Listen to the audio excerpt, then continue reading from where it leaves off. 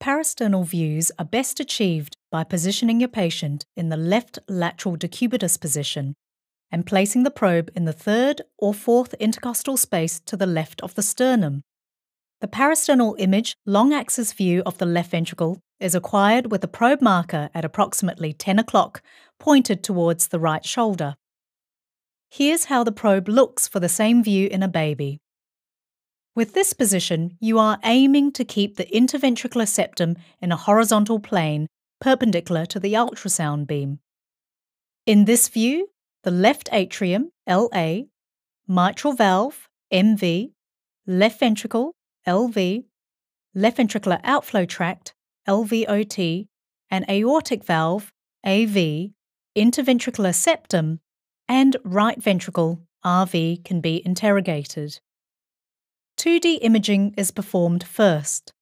Here's the left atrium, left ventricle, right ventricle, and aorta.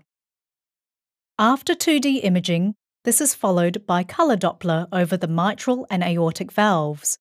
In this echo, the colour box is over the mitral valve, and in this example, it's over the aortic valve. The color box should also be placed over the interventricular septum to look for ventricular septal defects.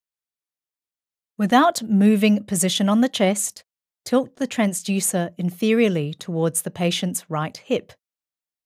This will provide the anterior and posterior leaflets of the tricuspid valve.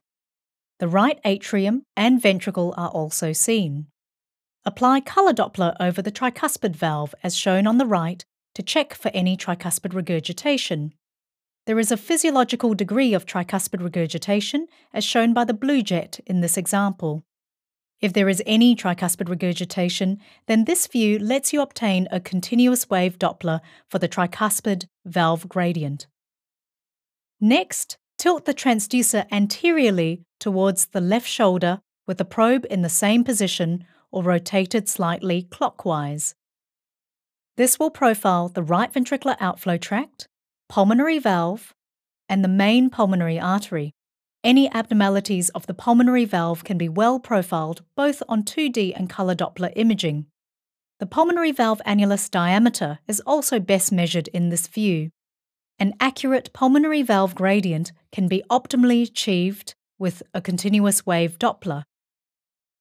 Moving on now to parasternal short axis views.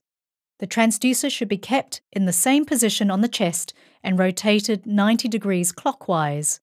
Here, the probe marker is at approximately 2 o'clock pointed towards the left shoulder. Here's how that probe position looks like in an older child. With this position, you are aiming to keep the interventricular septum in a direct short axis plane. This will allow you to view the aortic valve in cross section and see the right sided structures wrapping around the aorta in a superior short axis plane. In this view, this is the left atrium, LA, and then the right atrium, RA, and tricuspid valve, TV, are seen to the right of the image, followed by the right ventricular outflow tract, RVOT, anteriorly. The pulmonary valve, PV, main pulmonary artery, PA, and bifurcation of the right and left pulmonary arteries RPA and LPA are seen to the left of the aorta. First, we examine these structures using 2D imaging, followed by colour and spectral Doppler. Here you can see that there is a tri-leaflet aortic valve and unobstructed right ventricular outflow tract. We can also see the interventricular septum by sweeping the probe from the base to apex of the heart as shown in this video. This is a good view to assess for ventricular septal defects, which we'll cover later. The short axis or radial function of the left and right ventricles can also be assessed. Here's an example with the aortic valve seen here. Again, the tricuspid valve, right ventricular outflow tract, and pulmonary valve are seen.